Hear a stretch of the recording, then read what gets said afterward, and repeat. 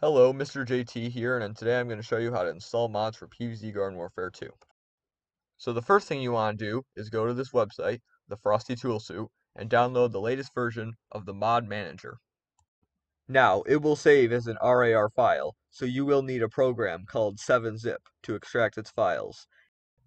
So to extract it, simply right-click the file, select 7-zip, and then extract to Frosty Mod Manager.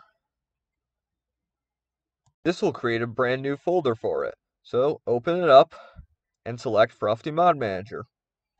It'll ask you to select a game configuration. So click New and find the place on your computer where you installed Garden Warfare 2. Once you've found it, select the app called GW2 Main Win64 Retail and click Open. Then left click the configuration and hit Select. Now we're ready to import mods.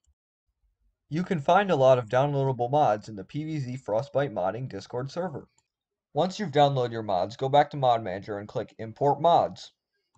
Then select the mod you just downloaded, click Open, and it should appear in Frosty Mod Manager.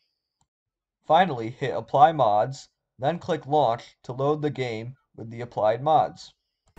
And that concludes the mod installation tutorial. I hope you guys enjoy playing with GW2 mods just as much as I do. Thanks for watching.